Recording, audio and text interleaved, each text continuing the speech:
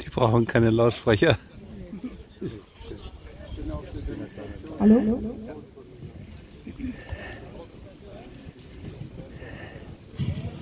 Guten Tag und herzlich willkommen zu unserer heutigen Versammlung. Mein Name ist Soja und wir sind unsere Geschwister hier, egal von aus welcher Nationalität. Wir sind alle Geschwister hier, um die Freiheitsstimme und die Gerechtigkeitsstimme äh, von Frauen im Iran sein, für die Leute im Iran, die kämpfen momentan gegen die Mullah-Regime Irans. Und vor allem würden wir gerne uns bei euch herzlich bedanken für euer Mitkommen, eure Unterstützung. Die iranische Kurdin Mahsa Amini, 22, stirbt nachdem sie von der iranischen Moralpolizei festgenommen und ins Koma geprügelt wurde. Ihre Verbrechen, ihr Haar war nicht vollständig mit dem Hijab bedeckt. Was besagt, was besagt die islamische Kleiderordnung im Iran? Seit der islamischen Revolution 1979 gilt eine strenge Kleiderordnung. Frauen müssen ihre Haare und ihre Hals mit einem Kopftuch verbergen und mit einem langen Mantel ihre Körper bedecken. 2017 startet eine Welle von Protesten gegen den Hijab. Dutzenden von Frauen nahmen öffentlich ihr Kopftuch ab. Die Behörden haben seither härtere Maßnahmen ergriffen.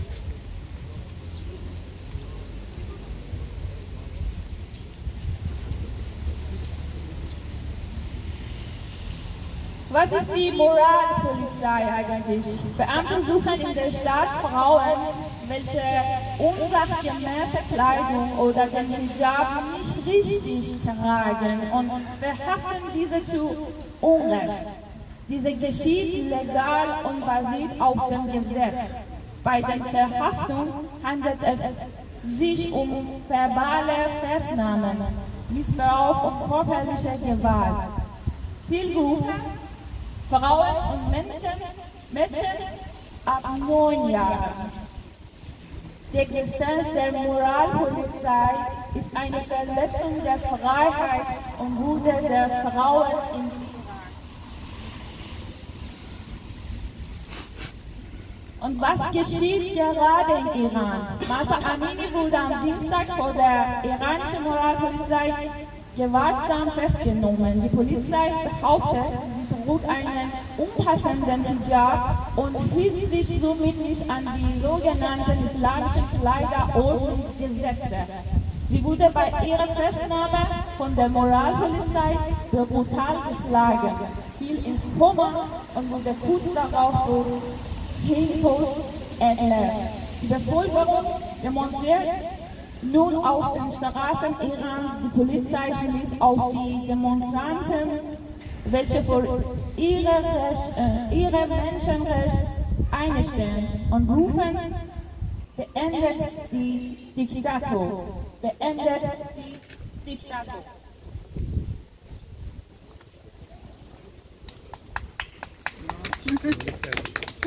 Dankeschön. Und wusstest du das? Wusstest du, dass die Frauen im Iran nicht in Leitungspositionen arbeiten dürfen? Wusstest du, dass die Frauen im Iran nicht der Öffentlichkeit singen dürfen? Wusstest du, dass die ausländischen Filme verboten sind, weil die Frauen keine Kopftücher tragen und vieles mehr? Und jetzt, wie kann ich helfen? Wie kannst du vielleicht helfen? Indem ich nicht schweige. Schweige unterstützt die Unterdrücker. Indem ich auf die Missstände Aufmerksamkeit mache und diese auf den sozialen Medien teile. Diese setzt die Regierung unter Druck, da sie internationale Aufmerksamkeit fürchten. in dem ich für die Frauen im Iran und die Bevölkerung bitte. Und jetzt sind wir hier aufgestehen, um unsere Geschwister zu unter unterstützen. Für eine Welt mit Gerechtigkeit, für eine Welt mit Menschenrecht, für eine Welt mit Peace und Freiheit. Sei ihre Stimme, sei ihre Stimme. Seid ihre Stimme, seid ihre Stimme, seid ihre Stimme, seid ihre Stimme. Be their voice. Be their voice, be their voice, be their voice. Be their voice. Say her name, say her name, say her name, say her name, say her name. Say her name. Vielen herzlichen Dank.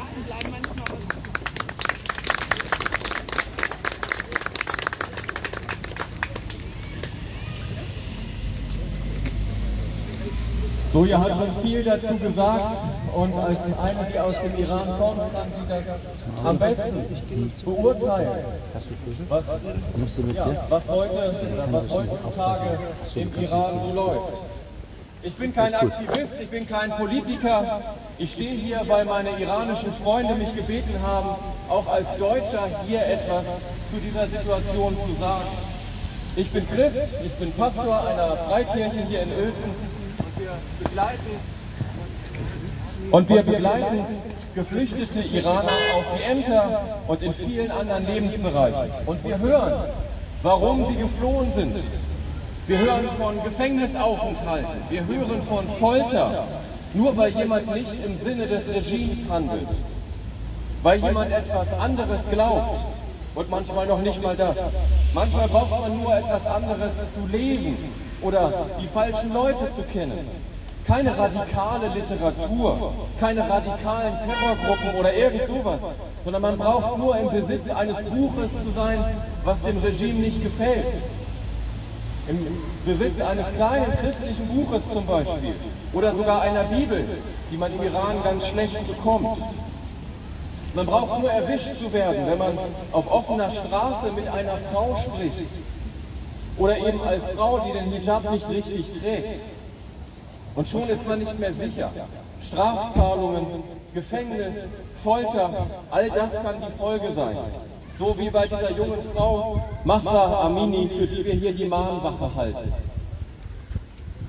Ich stehe hier, weil ich Christ bin und viele meiner iranischen Freunde auch. Sie haben sich freiwillig entschieden dafür. So wie ich auch. Weil ich in einem Land leben darf, in dem Religionsfreiheit Teil des Grundgesetzes ist. Ich bin gerne Christ und ich bin begeistert von meinem Glauben. Und ja, am liebsten hätte ich es natürlich, wenn alle Christen werden würden. Aber dafür nehme ich doch keine Waffe in die Hand. Dafür kann ich doch keinen Druck machen. Dafür darf ich unter dem Dach der Religionsfreiheit ganz frei Werbung machen. Und andere dürfen das auch. Für ihren Glauben. Ich darf privat und ich darf sogar öffentlich davon erzählen.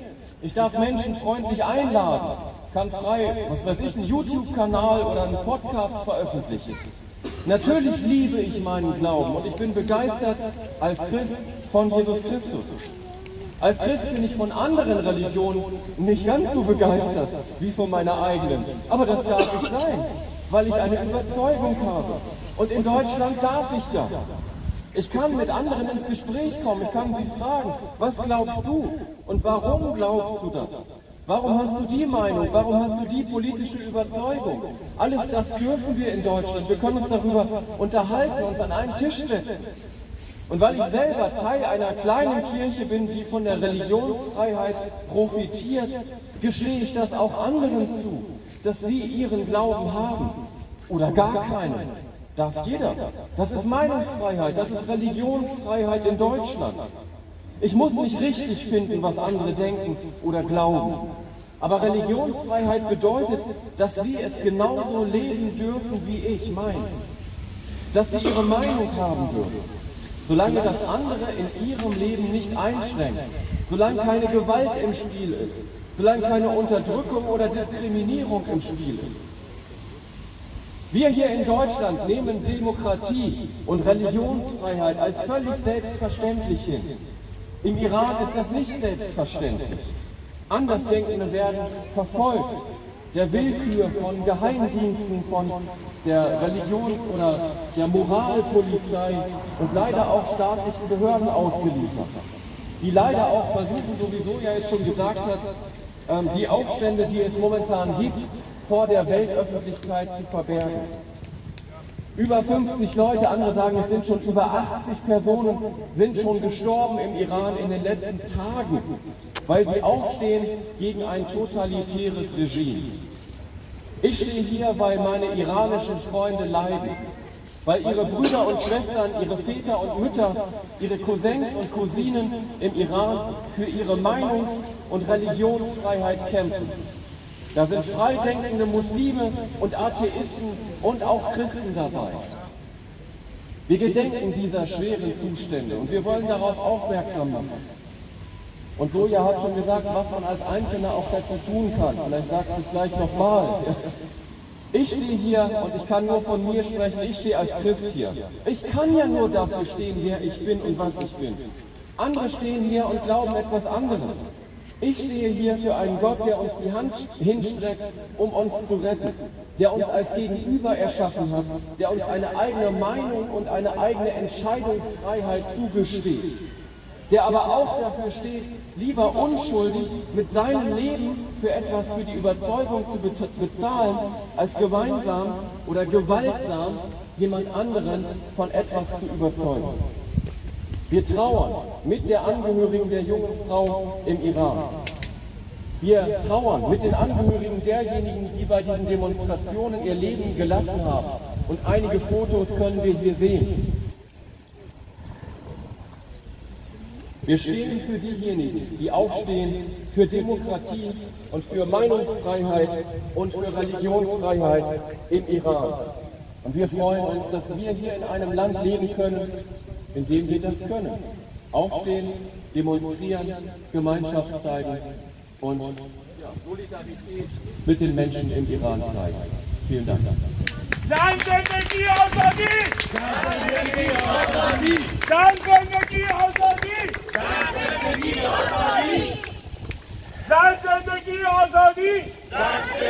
azadi! Frau Leben Freiheit! Frau Leben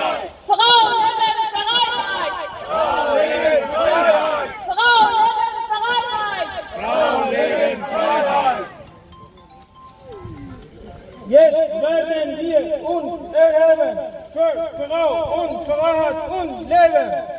Jetzt werden wir uns erheben für Frau, Freiheit und Leben. Jetzt werden wir uns erheben für Frau und Freiheit und Leben. Jetzt werden wir uns erheben für Frau, Freiheit und Leben. Jetzt werden wir uns erheben für Frau und Freiheit und Leben. Jetzt werden wir uns erheben für Frau, Freiheit und Leben. Nieder mit der Despotie. Es lebe Demokratie. Nieder, nieder, Despotie. Es lebe Demokratie. Nieder mit der Despotie. Es lebe Demokratie. Nieder, nieder, Despotie. Es lebe Demokratie. Nieder mit der Despotie. Es lebe Demokratie. Nieder mit der Despotie. Es lebe Demokratie. Nieder mit der Despotie! Es lebe Demokratie! Nieder mit der Despotie! Es lebe Demokratie! Nieder mit der Despotie! Es lebe Demokratie! Nieder mit der Despotie. Es lebe Demokratie.